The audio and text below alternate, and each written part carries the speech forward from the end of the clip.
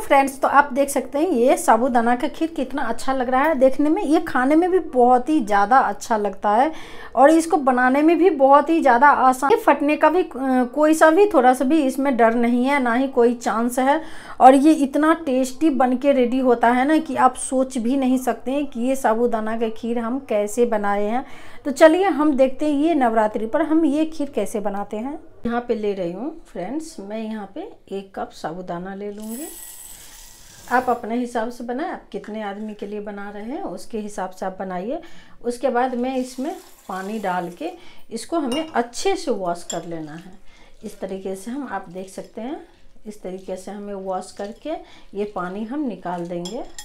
तो सबसे पहले ये पानी मैं हटा देती हूँ। इसको अच्छे से वॉश कर दिया है। अब हमें इसमें क्या करना है? मैं इसमें डालूँगी थोड़ा सा दूध।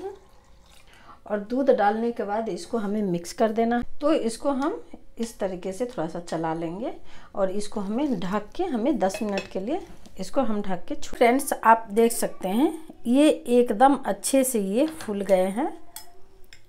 कितने साइज़ में भी ये बड़ा बड़ा हो गया है तो अब इसे हमें क्या करना है? फ्रेंड हमने सबसे पहले ये पैन रख दिया है गर्म होने के लिए। ये गर्म हो चुका है। इसमें मैं डालूँगी करीब दो चम्मच के करीब देसी घी।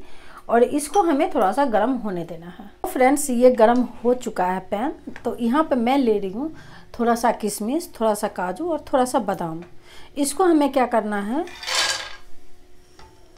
इसमें डाल के इसको हमें थोड़ा सा भून लेना है। घी में। ज़्यादा हमें हाई फ्लेम पे हम इसको नहीं भूनेंगे, हम मीडियम फ्लेम पे ही इसको हम अच्छे से भून लेंगे। फ्रेंड्स आप देख सकते हैं, ये भून चुका है। हमें इसको इससे ज़्यादा नहीं भूनना है तो हम इसको आप पहले निकाल लेंगे एक प्लेट वगैरह में। इस तरीके से ज़्यादा अगर आप इसको भून देंगे तो ये खाने में अच्छा नहीं लगेगा। तो अब इसी में हमें, इसी पैन में हमें क्या करना है?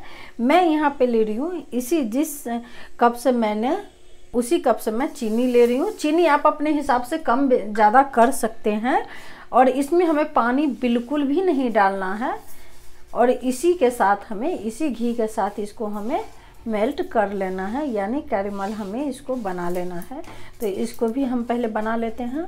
आप देख सकते हैं ये चीनी जो है, ये कितने अच्छे से मेल्ट हो चुके हैं।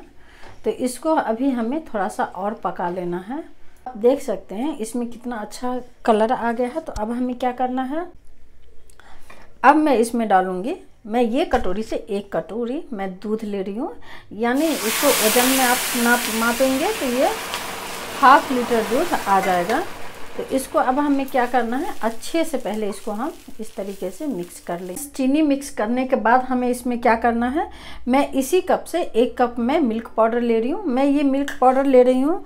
जो मिल्क पाउडर से आप चाय वगैरह बनाते हैं, वही वाला मैं ले रही हूँ। आपके पास जो है, आप वो ले सकते हैं। और इसको हम क्या करेंगे? अच्छे से हमें इस तरीके से अच्छे से एकदम से हमें इसको मिक्स कर लेना है। ये मिक्स करने के बाद हम क्या करेंगे इसमें? हमने जो ये साबुदाना को फुला के रखा था तो हमें इसे इसमें डाल देना है। और इसी के साथ हम क्या करेंगे इसमें? ये काजू बादाम को जो हमने भून के रखा था, उसको भी हम डाल देंगे। और इसको हमें थोड़ा देर के लिए इसी तरीके से चलाते हुए हमें पका लेना है। तो हम इसको पहले पका लेते हैं। फ्रेंड्स, आप देख सकते हैं, इसमें एक उबाल आ चुका है। तो उबाल आने के बाद हम इसमें क्या करेंगे? इसका गैस का फ्लेम हम थोड़ा सा low to medium to low हम कर देंगे, ताकि इसका ये साबुदाना जो है, वो अच्छे से पक भी जाए। तो इसके लिए अब हम इसको मीडियम टू लो करके इसको हम पकाएँगे और ये जल्दी से गाढ़ा भी हो जाते हैं।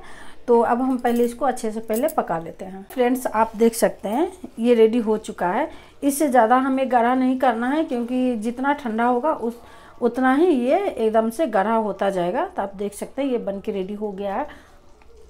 और ये देखने में कितना अच्छा लग रहा है। इसका खुशबू भी बहुत ही ज़्यादा अच्छा लग रहा, आता है। तो इसको आप एक बार ज़रूर बनाइए और खाइए और मुझे भी बताइए कि ये रेसिपी आपको कैसी लगी। अगर अच्छी लगे तो प्लीज़ लाइक सब्सक्राइब भी ज़रूर ही कर दीजिएगा ताकि मैं आपके लिए इससे भी अच्छी अच्छी रेसिपी लेके आऊँ। तो तब तक के लिए बाय